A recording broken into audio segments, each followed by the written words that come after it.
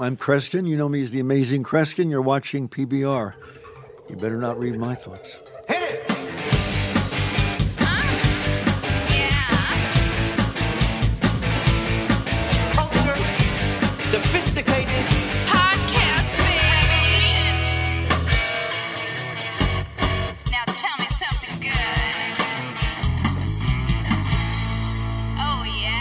What's up, everybody? PBR Podcast, Mike Pullano, Derek D, and Ryan Mars still in the house. What's up, Ryan? Hey, man.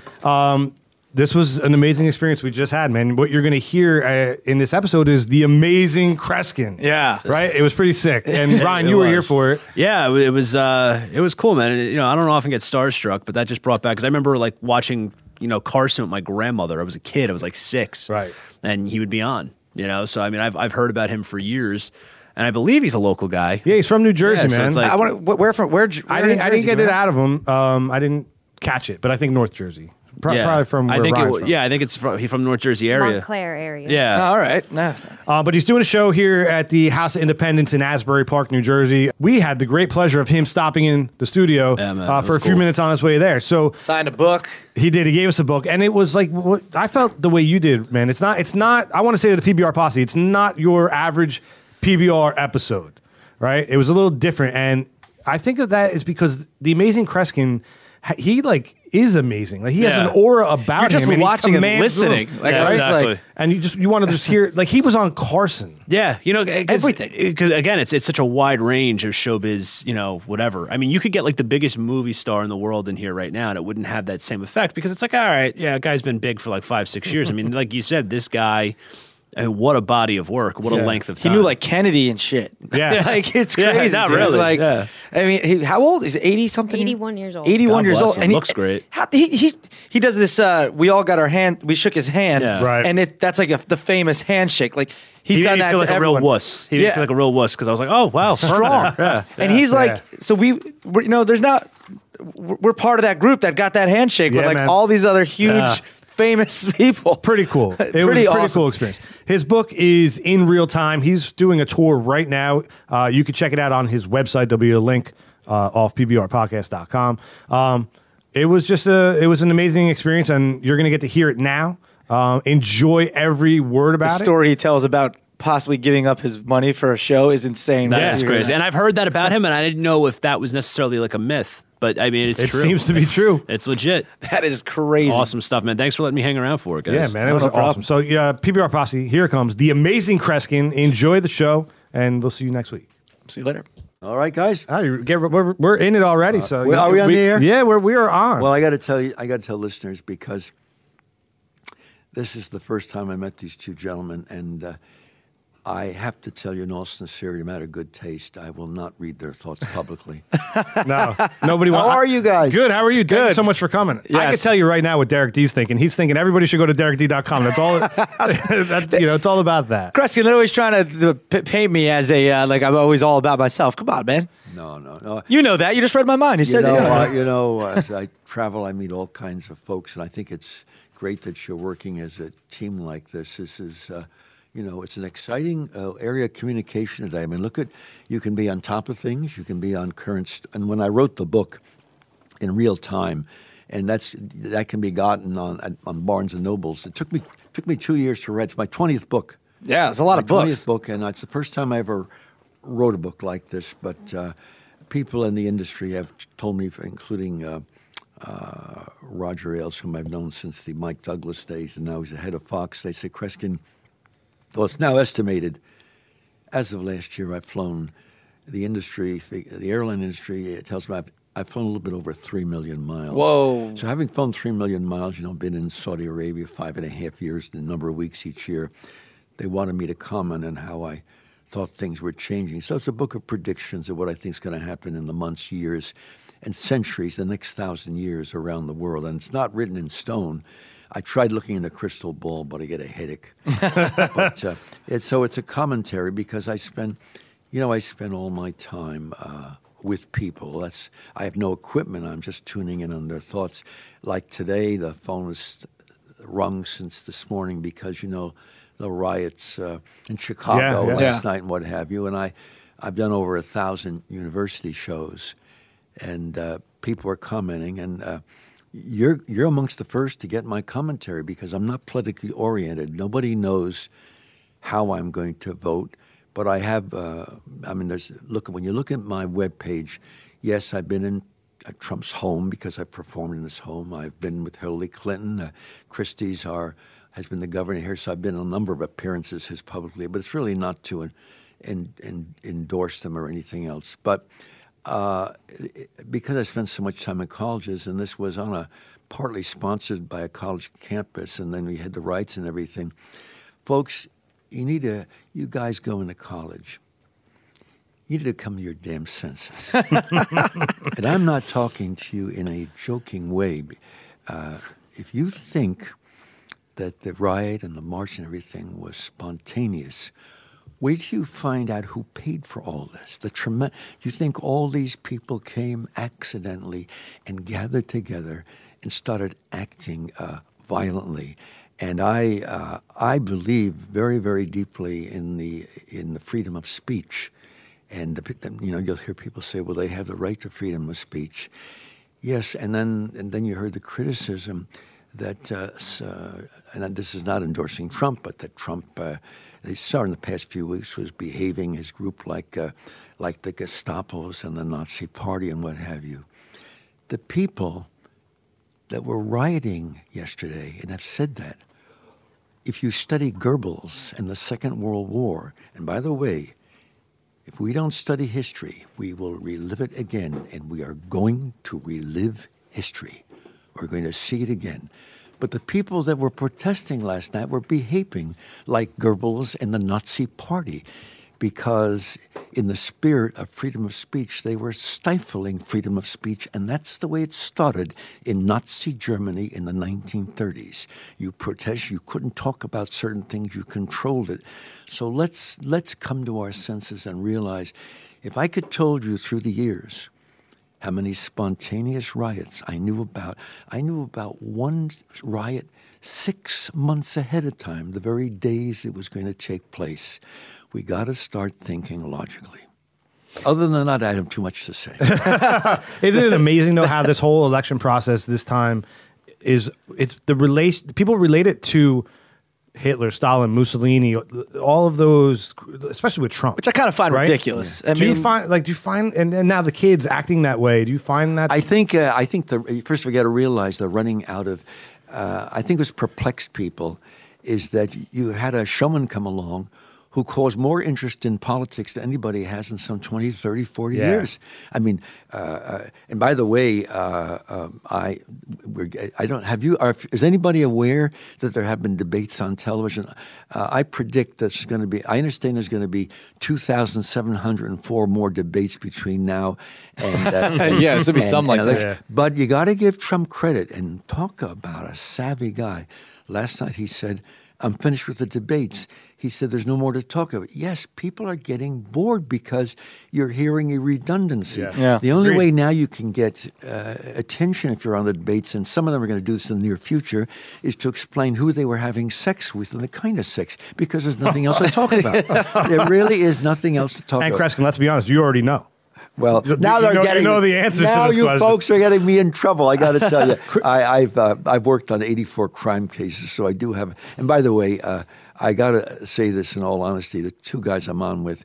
I don't get the impression they've been in any serious crime cases that we've discovered yet. That's true. You'd be you'd be correct by saying that they haven't discovered it. But in, in re- the book in real time is really a commentary on, you know, uh, we we're in a dramatic time, and uh, I was asked uh, uh, just recently on a number of the cable news stations who I thought would take us out of the uh, depression we're in. Uh, because it's the worst, the, not depression, uh, re, re, like economic uh, reset. It's the worst one we've ever had in history. They said we got pictures of you uh, in in in in Washington and so forth. You got to understand, by the way, first of all, I'm not sure we can blame exactly our politicians because there's something also in Washington D.C. which people don't talk about called lobbyists.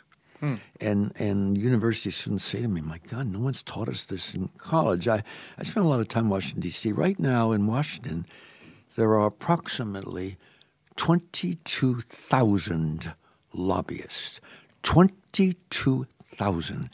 If you, do you really think, I'm just going to ask you a question, you really some, think that someone can remain in government for 40 years and not have some behind the scenes profit going Oh on? come Sure. on, absolutely. Yeah, I mean, it's broken, right? I mean, it's the way. Yeah, it's it's, it's Anyway, other than that, by the way, listen, I want to make this clear. I have nothing against our political figures. I, I just wish that most of them had been on the Titanic. But other than that, I think I think what Yeah, I think what absolutely. Kreskin just said was amazingly profound. I thought that was awesome. Thank you for doing that on our show. That was pretty awesome. so Kreskin, you're, you're a showman, a mentalist, uh, right? You could you could read the thoughts of people, or you, you have a That's book what out I do for yeah in real time. In real time, well, the book is uh, is dealing with predictions, but you know, my audience. Uh, I think the reason I was able to. Uh, by the way, I don't want people to think I, I don't know it all. I claim to be a total authority and know a tremendous amount about absolutely nothing. I love that. and I know very little about anything else. So I get all my information from audiences and people because, uh, you know, I don't have a I don't have footlights between my audience and my and myself. I'm tuning in on their thoughts. A perfect example is uh, well, my one of my favorite stories was at the Riviera in in Vegas a couple years ago. Uh, a couple months I was there. One night I said, you know, so and so in the audience is thinking of such and such. And this elderly man stands up, distinguished looking guy, and I said, "Who are the who are their names?" He said, "Kreskin, there, there are pets. We're not from here. We're not from uh, Vegas. We're, we're here on vacation." And he told us where he was from. He said, "There are pet dogs. We love them." And I said to him, I said, didn't you say to your wife, I wonder if Kreskin can tell me uh, my Army serial number? I wish, guys, I wish we had camera work like that there. He slammed his fist on the table and he says, damn it. He says, yeah, that was at an, uh, we're staying in another nightclub. He says, that was hours ago. I'm eating dinner. I said that to her. I said, uh, who knows your Army number? Well, you can ask anyone you know, man or woman in the service. They'll never forget it, but they don't talk about it. He says, I don't think I ever told my wife the number. And uh, in the next two minutes, I gave him the exact digits of his Army serial number, and he was in World War II. But if he didn't know the answer, I couldn't tell him that. So in all my shows now, and it's an adventure, it's an adventure whether it's a private group, it's in a gymnasium, it's in a college, or it's in a stadium. I turn my check over to my audience. I leave the theater under guard. And as one, one reviewer in Pittsburgh a few years ago said, it's just like watching a mystery play. The audience is creating the answer to the mystery. The audience hides my check anywhere in the theater. I'm brought back in. No one speaks to me. And if I don't find my check, I forfeit my fee, and it goes back to the people who booked me. And that's a hell of a way to make a living. That's wow. Yeah, and I just uh, this year, this past year, I failed my tenth time, which is not many out of out of six thousand. But in New Zealand, in one night at a coliseum, and they had a press conference the next day uh, that was covered with by over one hundred reporters outside the theater. I lost in one night fifty one thousand dollars. And jeez, is that like in your contract? You right? That's in It's your my agreement. No, it's an agreement Wow. everyone knows all over the world. Doesn't matter where I'm working. Minnesota State Fair was 11,000 people. Oregon State Fair was 30,000. Uh, just just recently, a banquet affair in a private uh, a home was like 100 and some people. That is my, and I have, uh, well, one famous incident was University of Illinois. I don't know how many times I appeared there, but I walked through the gymnasium. You could hear a pin drop. It's like 8,000 people. I think it was a family weekend. And you had trouble walking because guys and gals were sitting on the tarp on the, in chairs and people are in the, in the bleachers. And I come to this elderly man. I thought he probably was a parent. I said, Would you stand? I asked him to open his mouth. No check. I felt like a jerk. I felt like an absolute jackass. I walked 10 feet away from him. And something in my mind told me to come back. And I walked back to him and I said, Sir, if I embarrass you, you just sit down. I apologize. Would you open your mouth again? He did. I said, Does this have to do with the roof of your mouth? I'll never forget this to my last day on earth. Reached in his mouth, took out his upper plates, and handed me my check. Ah, And the, the fact the fact that you can you had that thought right and you found that check. I mean, this show is But all he had about, to concent- He had to concentrate. The people, not him. Right. The people who hid it had to think. Right. If they didn't think of where it was hidden, Forget it. So the this- check was in his mouth. Isn't that gross? In, And you knew it the twice. plates in his mouth. you, you didn't check that. You didn't cash that one, right? You made. yeah, right, write me a clean one. You had cl- plastic they gloves me- on. they gave me a new It- check. Yeah, good. Preston, it's Well- 2016. the, the, Ebola. Well, could be I, on that hey, check. listen, I walked through a, I walked through a gymnasium in a university and s- picked a man in a suit and walked him to the stage and said something about a gun. I thought this is stupid. He's not a policeman or anything. And finally opened his jacket. He's a plainclothesman. I would never ever do this in my regular life. I reached into his shoulder holster, it's got the gun, and turned the barrel towards my eyes. They'd Hey. taken tweezers and found found. That's a check. You down forfeit. it. You forfeit that check. You knew the check was in and you knew it wasn't going to go off anyway. It was a, it was a blank. Right? So let's let's go Did back. he to- say his thinking is a blank or the check was Probably no, both. No, no, Probably both. no. No, it's okay. It's okay. Um, how does this? How, how do you, as a child, find this path? It happened when I was nine years old. I was in junior high school. I was in high school. it like a I- God-given I was in grade school. So I was in I was in third grade, and uh, uh, it was raining outside. And Miss Curtis said, "We're not going to go out and play." I'm nine years old in third grade New Jersey. in New Jersey, and she picks a gal, uh, Jane Hamilton, it was, to leave the classroom. And we hit a beanbag in the classroom. She brings Jane back in. She said, I'm going to teach you a game. She says, Jane, walk around. We, we put your check in someone's desk. Uh, not check it, we put the beanbag in someone's desk. Uh, the classmates will say, if you're getting near it, you're getting warm. If you're not near it, you're cold. Game of hot and cold. You're getting hot if you're near it. She found the beanbag, and I went home and I thought, she didn't, she didn't pick me to play. So my brother, and I walk 10 minutes to my grandparents' house. They were from Sicily. They built this house themselves. I said, they lived upstairs. They were renting the downstairs to make ends meet. I said, hide this penny up in grandma's house. Grandpa was working. And he walks upstairs, calls me when he's ready. And I'll run upstairs. I walk into this big kitchen. My grandmother was a chef in Sicily, a wonderful cook. Walks through this big kitchen. She's sitting there wondering what's going on. She didn't speak much English. Walked into my grand, my uncle's bedroom. He was at work. Climbed up on a chair because I was a short kid. I reached behind a, reached behind a turn, curtain rod and felt the penny. And then I suddenly remembered I forgot to tell Joey to talk to me. No one spoke to me. No one said anything. And that was the beginning. And in fourth and sixth grade, in, in show and tell, Miss Galloway, my teacher, had me try to read the thoughts of my classmates. I remember in sixth grade, I said to Gloria, I said, Gloria, I told everyone in the class to think of a, a movie you've seen. She's sitting in the back next to Judy Dunn. I said, You weren't thinking of a movie right now, were you? She says, No. I said, What was it around Christmas, like a half year? She said, Yes. I said, Was it such and such a movie? And it was the movie she was thinking of. That was the beginning. Then in ninth grade, uh, my a lady friend passed away this past year, but I took her around the world in trips. In a yearbook, they gave it to me just a few months ago. Picture me performing in high school. I was in ninth grade and I was performing in assembly. And by ninth grade, I was doing two hour concerts around the world, two hour shows. Wow. so it was a slow thing, though. It didn't happen overnight. But is it like something that you you? I like think it was inherent, but no one gift taught me. was. It was a gift that I learned to begin. You got to understand. You know, I had, I had a hero when I was a kid. No one I saw. There's a comic that you can look up now by Lee Falk called Mandrake, and it was called Mandrake the Magician. And it was the biggest comic, one of the big. And and Lee Falk wrote another comic called The Phantom. There's been many cartoon and uh, series done The Phantom, but Lee Falk created this. Man, he wasn't a magician; he had hypnotic powers, and he was able to tune in people's thoughts. And someone gave me the comic when I was five, and I and I, in my mind, I play acted him amongst friends. And then ten years or ten years before Lee Falk died, they had a seminar at Lee, Sardi's in New York with all these professors and researchers saluting this man who created Mandrake and the Phantom, and they invited me there. And he he said hello to me, and he was talking about how he created this. And in the middle of the conference, he stopped and said, "I want you to know something. I've been writing this since 1935. The only person living that I've ever seen or heard." That's come closest to Mandrake is Kreskin. Can you imagine? Oh, wow. That's great. That was like a gift. Yeah.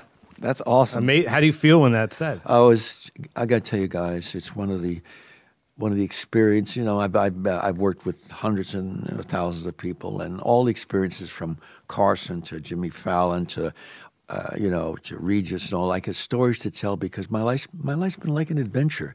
It's it's really it's really wild, and I. And I, uh, they said, "Would I ever retire?" And I'm going. I, I can announce it here. Yes, I'm going to. Ten days after I pass away. When, when you're when you're uh, when you're taking this journey, do you find that you have to um, you have to exercise exercise it to make I it- run. Uh, uh, last night, I didn't tell my road manager this. I tripped on. The, I run about 20 minutes uh, uh, at night, either on a uh, on a machine if it's wintertime or outdoors. And I decided to run outdoors. And Right. all right, whoever left the toy outdoors, you know, and, I'm, and I'm not. I'm I'm I'm not going to sue. Uh, I don't. Uh, I don't get involved too much in attorneys, although I probably should because those of you going into law, someone should warn you. People, people. say, Well, I travel. I, they should warn you that the United States today, unlike any country in the history of mankind, there's now one attorney for every 200 people. That's why law schools and law firms are closing all over the United States. So think of what you're going to do when you go into work. right? What's the difference between a mentalist and a like a psychic? I can't fore, foretell the future. Yeah, when I wrote in real time, I talked about I talked about things that I sense taking place in the future, but I use my own intuition. I don't give people advice. I'm not telling them, you know, this is going to happen to them Right. in the near future, unless I'm the one that intends to commit the crime of Hey. violence. No, no, no. But uh, I, I, that's not what I work. I, I work on how people think, and uh, uh, I remember. Um, well, anyway, I want to tell you some of the stories that uh, that the politicians say. By the way, the last time I saw Trump, it was after he was reelected to to a governor, and I had my hand against his head. So the sign they put under him when it was reproduced was. I told you so, meaning you know that he had won the uh, election, and this is not this is not predicting or supporting anything in the future. But I'm not a fortune teller, and yet my you know my my shows, by the way, uh, are run about my full evening shows are two hours and thirty some minutes in length. Oh, wow. Uh, tonight I'm appearing in the New Jersey area for a, for a 90 minute program. But they're really at adventures because people come year after year because uh, new experiences take place. And if you ever see me do this on camera, I'm telling my uh, the directors, I can't uh, work with this person anymore. They're probably thinking something. I don't say this on the air. That's not something to talk about publicly. Maybe something very personal. I've been involved in, in preventing a few suicides that people had been considering. That's awesome. Considering. You know, and I and not that I created any such things, but preventing them. I mean, you got to be with these guys on the air. You know, you know what I like about these two gentlemen, and I, you can put this as a quote: They're great guys to work. They're flaky, but they're good guys. See, I mean, he's nailed it. I like the I like Nailed the I like the zings uh, Kreskin's throwing. no, but, hey, you know something?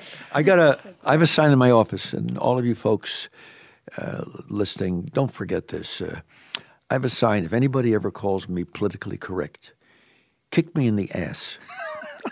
when I was a kid, little boy, and there was a Second World War, you had Jack Benny in a movie. Someone was impersonating Hitler. They were mocking him. Uh, one of the great, probably the greatest, greatest comedian in the last century, success-wise, was Bob Hope. He was con- constantly satirizing our our enemies.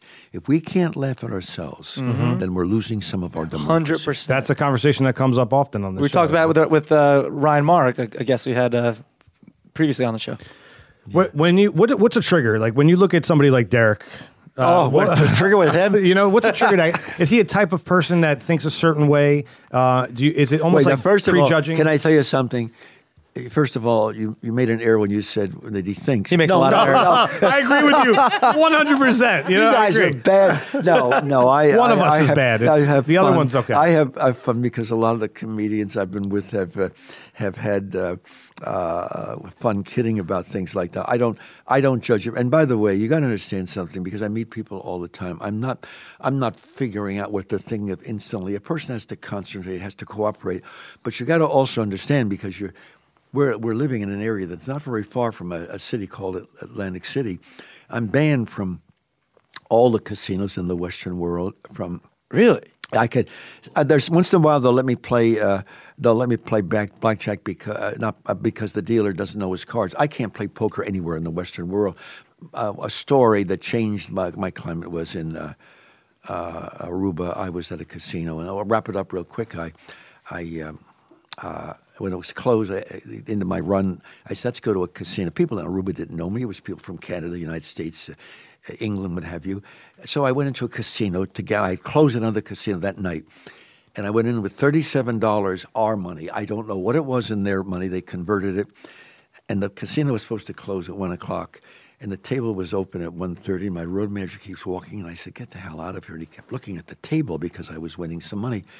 They were keeping it open because they were hoping I'd lose money back. Quarter of three, quarter of three, I stopped. I went to my hotel. I cashed the money, went to another place, and got my money ca- cashed. And I said, I got the guy that booked me, who was from the states. Come on and help me. He says, "What the hell happened?"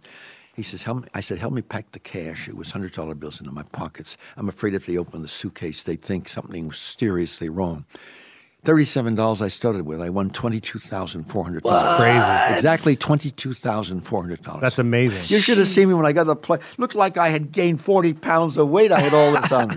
So, guys, by the way, the people, you folks watching, and they agreed to this after the interview, they're going to play poker with me. It's going to be a quiet No, no, game. no, no, no, no, no. I will Don't you, not don't you touch the I didn't agree to that. Zero Dennis, you can play with Dennis. Listen, right? guys, I got to go a little bit, but but I'll tell you something. When I come back in the area, we're going to do this again. You guys are good to work, and Thank you, know Chris. what's I good? think you're great. This is You know what's good? We we I love my work. I'll tell you some serious things in the future. And the book, by the way, is in real time. In real You time. know, I, I, I, did you see the cover? That's You beautiful. put the cover You're a good-looking this man. I like that. It's like It looks like it's it's you right there. I know. can I can I ask you one final question Right. before you go? Right. Because you've you've been around for the game a long time. You said I'm- Johnny Carson, Jimmy Kimmel. I did Jimmy 88 Fallon. shows with Carson. With Regis, uh, I did Regis 105 shows. How, that's that's amazing. How how do you see the last question I'll ask you is how do you see uh, like with the technology? How do you see that progressing in the future? Do you? It is progressing. It certainly is progressing. I mean, it gets smaller and smaller. You go from Carson. Yeah, but because the yes, today three million uh, viewers in, in a network thing is considered a big audience. Years ago, a show would be canceled. Right. But something has gone. Something has happened to late night television. This is the first time anybody has ever said this publicly. I just talked to some broadcasters behind the scenes about a week ago, and they said, Kreskin, no one's ever said this. You watch a show, no matter what the show is, I've been on with a lot of them. The guest comes on, you talk to them and say hello, and then you, you leave, and the next guest comes on.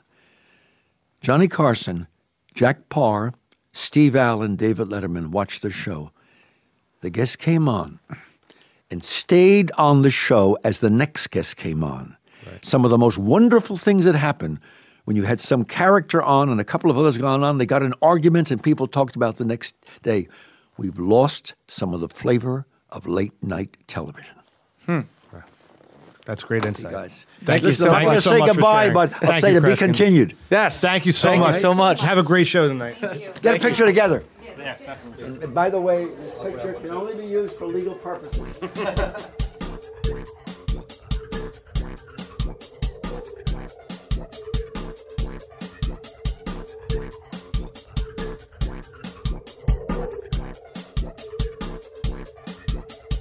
Revolution.